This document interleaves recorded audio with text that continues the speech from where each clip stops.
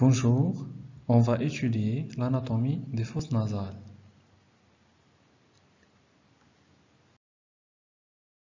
Donc, on va adopter le plan suivant, une introduction, puis l'anatomie descriptive qui va étudier la situation et la description des parois, des orifices et des revêtements cutanéo-muqueux, puis, puis la vascularisation et l'énervation, et les applications physiologiques cliniques, et en fin du cours, une conclusion.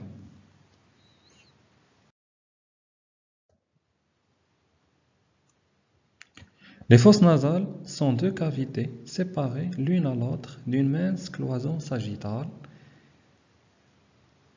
et sont situées au-dessus de la cavité buccale et au-dessous, voilà la cavité buccale, et au-dessous de la cavité crânienne. En dedans des deux cavités orbitaires. En dedans des deux cavités orbitaires. Par l'intermédiaire des orifices narinaires, les fosses nasales vont communiquer avec l'extérieur.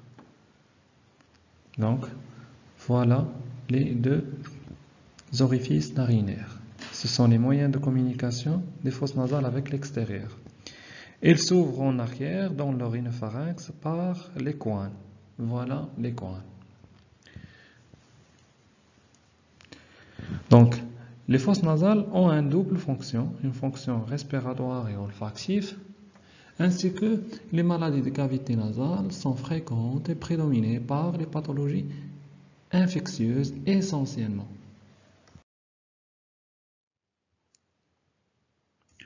Pour la situation des fosses nasales, sont au centre de la face, sous la base du crâne, au-dessus de la cavité orale et en dedans des deux cavités orbitaires et des sinus maxillaires.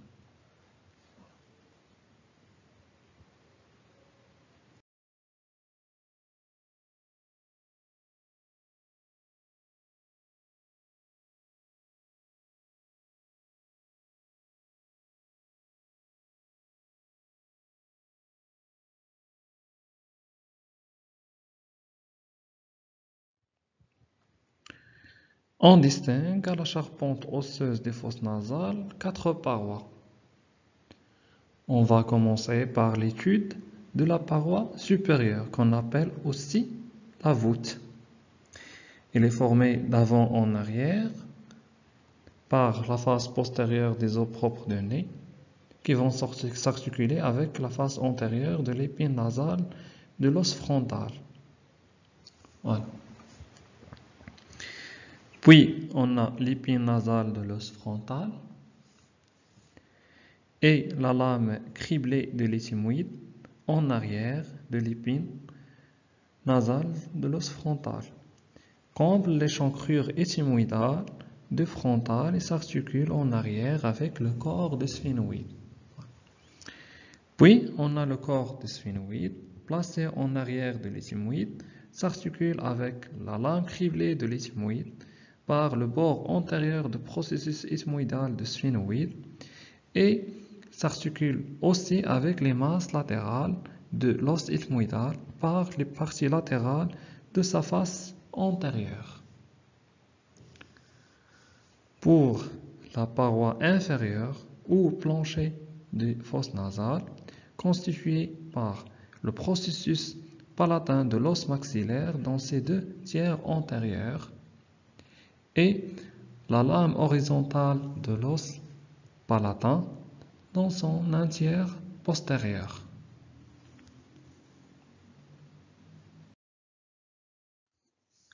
Concernant la paroi médiale au septum nasal, elle sépare les deux fosses nasales et soutient le nez en avant, possède un squelette ostéocartilagineux.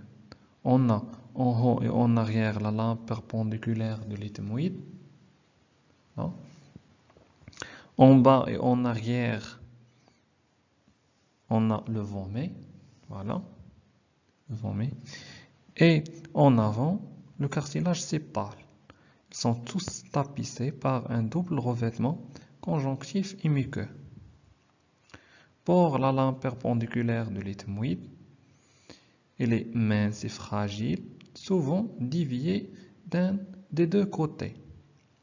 Son bord supérieur en haut se confond avec la lame criblée de l'ethmoïde.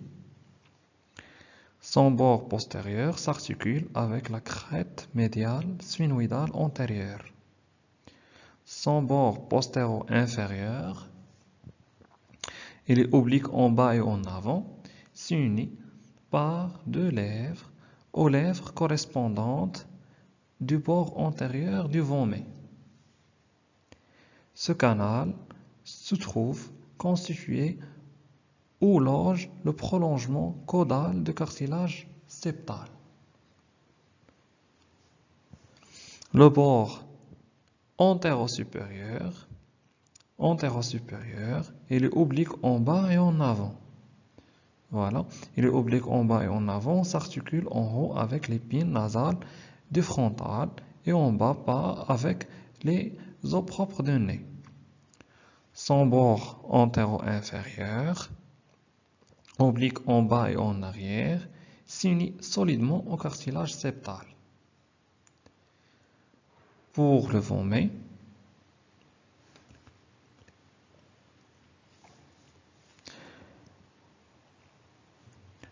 c'est une lame verticale, médiale, mince, mais elle est solide, s'interpose en coin entre la lame criblée de l'éthymoïde cartilage septal et le palais dur. Son bord supérieur, divisé en deux lamelles, ce sont les ailes de Vomet, répond à la crête sphénoïdale inférieure, limite le canal sphéno-vomérien médial. Son bord postérieur, oblique en bas et en avant, lisse, mince et tranchant, sépare les deux coins en arrière. Le bord inférieur, fixe solidement à la crête nasale, le bord antérieur, oblique en bas et en avant, en contact en haut, le bord la lame, euh, de la lame perpendiculaire de l'ethmoïde. Oui, c'est la lame perpendiculaire de l'ethmoïde. Et en bas, avec le cartilage de la cloison nasale. Son extrémité antérieure, son extrémité antérieure qu'on appelle aussi le bec, le bec, rapport complexe avec la crête incisive. Elle a un rapport très complexe avec la crête incisive. Pour le cartilage septal, c'est l'élément le plus épais de la cloison nasale.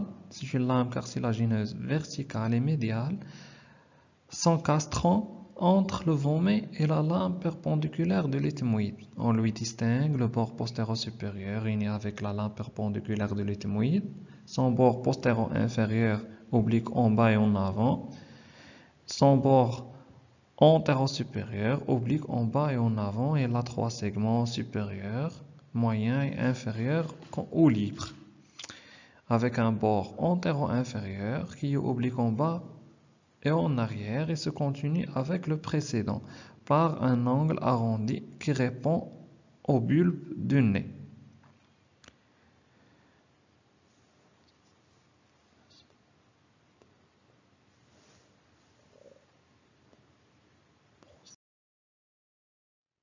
Pour la paroi latérale, elle reste la paroi la plus complexe. On va étudier, on va commencer par l'étude de son cadre osseux. On a six os participent à la constitution de cette paroi. On a la face médiale de l'os maxillaire, voilà, face médiale de l'os maxillaire, la lame médiale de processus ptergoïde, la lame perpendiculaire du palatin, ainsi que les masses latérales d'ethmoïdes. L'os lacrymal, qu'on appelle aussi lingus, et enfin, le cornet inférieur.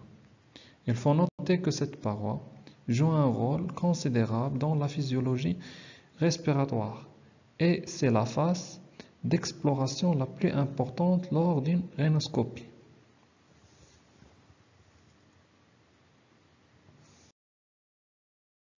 On continue notre description de la paroi externe des fosses nasales. Cette paroi est subdivisée en trois zones ou trois régions. On, commence par la description de la zone terminale. C'est la zone la plus importante, représente les trois quarts de la paroi externe, comprend les cornets et entre eux les méas.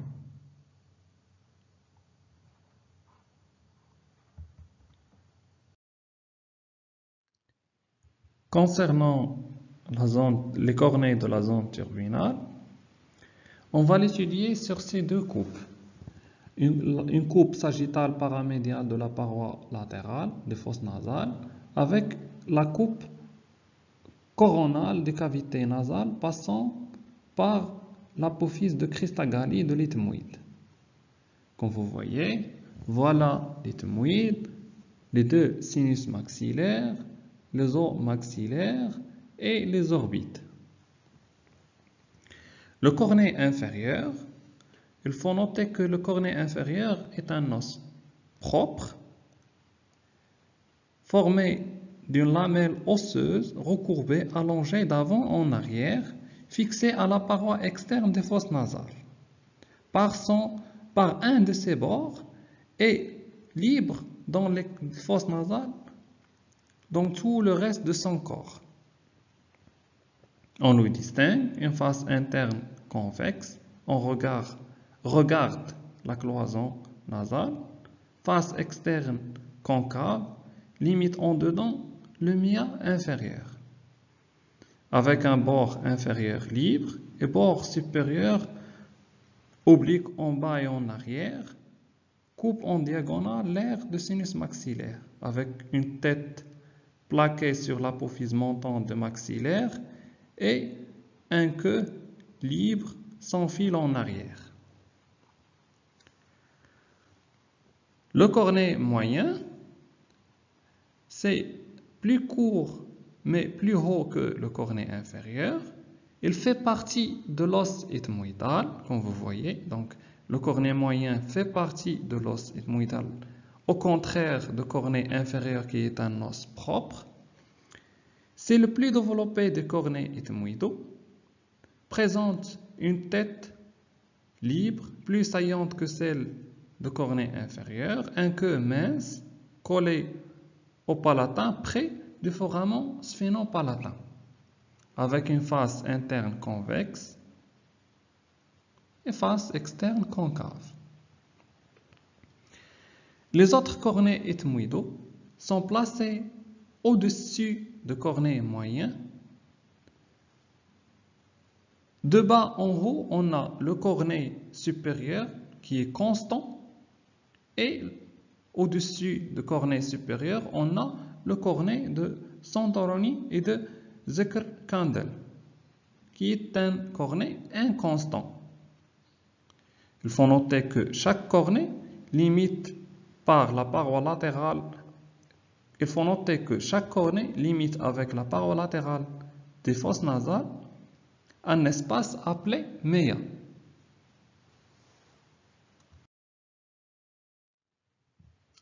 Donc, les méas sont en nombre égal à celui des cornets et portent le même nom que ceux-ci. On a qu'on va l'étudier sur cette coupe frontale. On a le méa inférieur, qui peut être considéré comme le méa lacrymal, limité en dedans par la face externe de cornée inférieure et en dehors par la paroi latérale des fosses nasales. Le méa moyen, c'est un véritable carrefour des sinus antérieurs car c'est là où vont s'ouvrir les sinus maxillaires, sinus frontaux et les cellules ethmoïdales antérieures. Le méa supérieur, plus long que le méa moyen, c'est là où vont s'ouvrir les cellules ethmoïdales postérieures et les sinus sphénoïdaux, limités en dedans par la face latérale des cornets supérieurs et en dehors par la face interne de l'ethmoïde.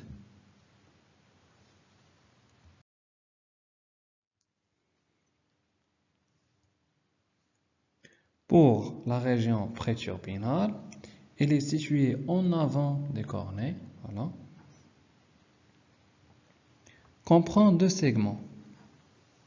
Un antérieur, c'est la paroi médiale du nez, et l'autre postérieur, c'est une partie de la paroi latérale des cavités nasales, limitée en arrière par une ligne tendue de la tête de cornée supérieure à la crête de cornée inférieure. Pour la région rétroturbinale, il est en arrière de la queue des cornées, répondant latéralement à la fosse ptérygo-palatine. C'est la fosse ptérygo-palatine.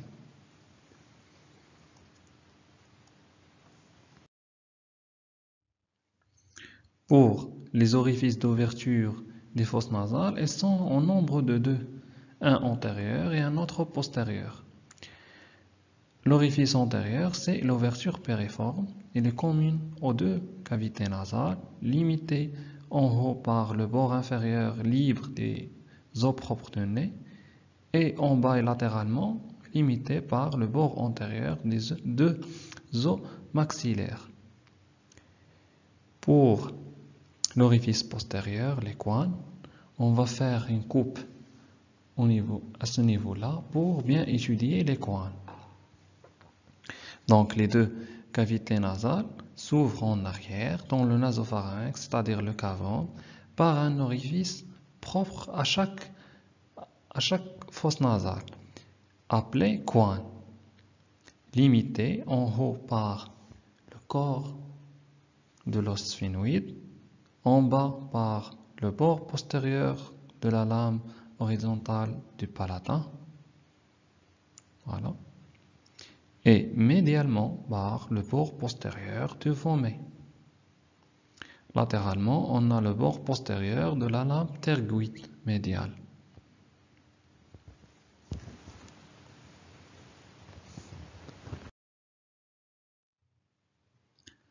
Concernant le revêtement cutanéo-muqueux des fosses nasales, on peut envisager à chaque fosse nasale trois régions. La première, c'est la région vestibulaire qui a un revêtement cutané garni de glandes et de poils ou vibrisses, assure ainsi un premier filtrage de l'air respiré. La région respiratoire comprend le plancher ainsi que les cornets moyens et inférieurs son épithélium est de type respiratoire cylindrique cilié. Ainsi que la troisième région, c'est la région olfactive, située au-dessus de bord libre de cornée supérieure et dont la muqueuse est occupée par les organes sensoriels de l'olfaction. Il faut noter que la transition entre la muqueuse vestibulaire et celle de la région respiratoire est progressive. Par contre, la progression ou la transition entre la muqueuse respiratoire et olfactive est brutale. Est brutale.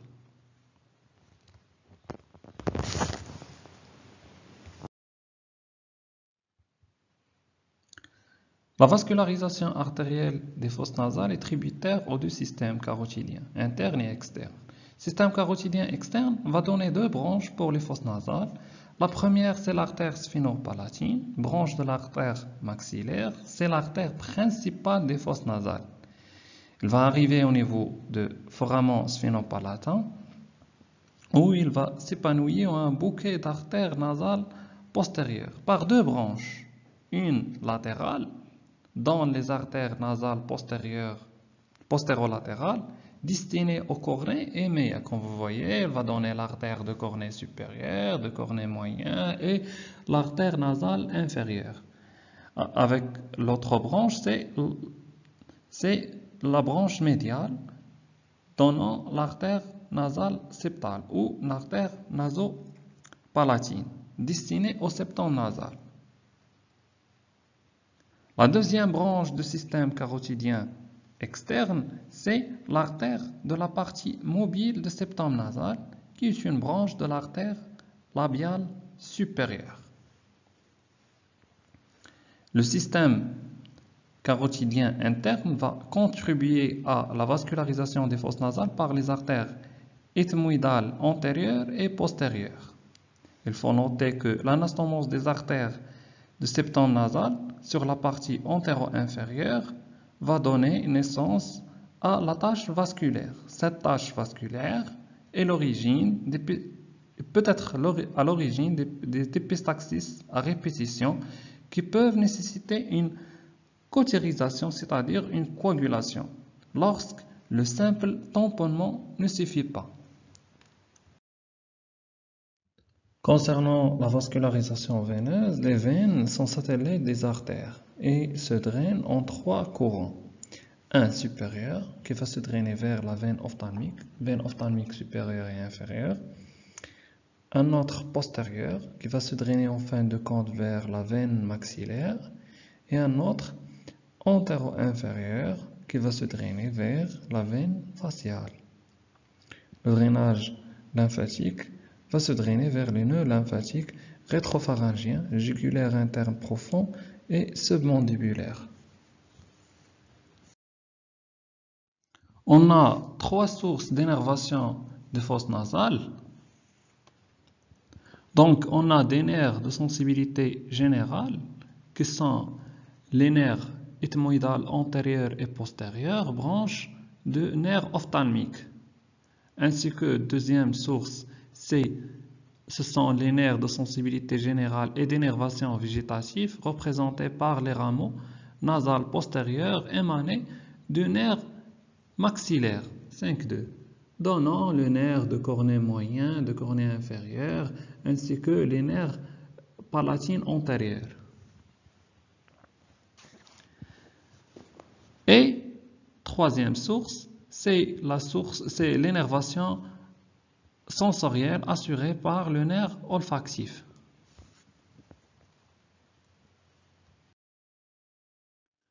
Donc, concernant les applications cliniques, le TDM ou le scanner facial reste l'examen clé pour l'exploration des fosses nasales. Par exemple, il permet le diagnostic étiologique et topographique des sinusites chroniques. Parfois, on a besoin d'un complément de l'ARM dans un bilan d'extension des tumeurs nasales ou sinusiennes. La paroi latérale des cavités nasales reste, reste la plus importante des parois des fosses nasales, a une importance capitale en rhinologie et à ce niveau-là, ou sa bouche les principaux sinus paranasaux.